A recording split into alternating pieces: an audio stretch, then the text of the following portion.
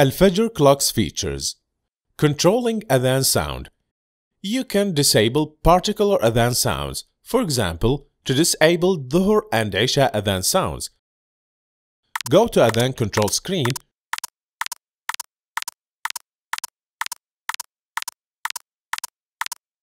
Then press and hold set. Keep Fajr Adhan on. Then press set to move to Dhuhr.